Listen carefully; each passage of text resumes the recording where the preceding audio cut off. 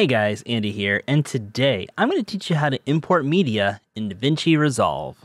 And so we'll start things off here at the media page. Here on the left hand side, you'll see the media storage browser right up here. And we'll go ahead and drag some files that I have already prepared on the desktop.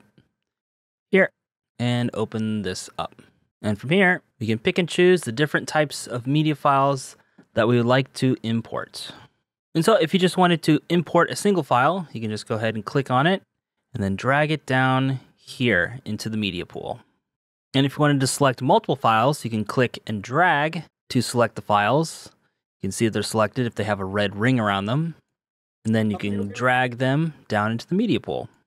You also notice that you can't import the same file because I accidentally selected this one right here the second time, but you still have the same one here.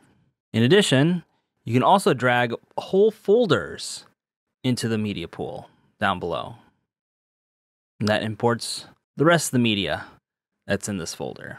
And so another way that you can import media is to go down to your media pool, right click and select import media. From there you can go into your folder with your desired media and select whatever you'd like and select open and all of your media that's been selected will appear in the media pool below.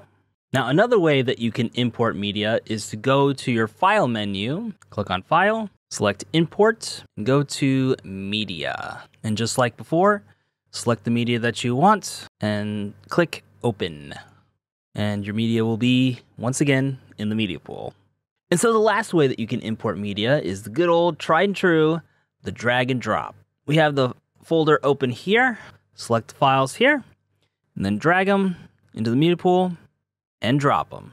And it's just that easy. So yeah, that's how you can import media in DaVinci Resolve. If you like this tutorial, be sure to give a like and subscribe for more tutorials. And if you have a question about DaVinci Resolve, be sure to put it down in the comments below, and your question could be the next tutorial. This is Andy, signing off for now, and as always, we'll see you next time. Bye, guys.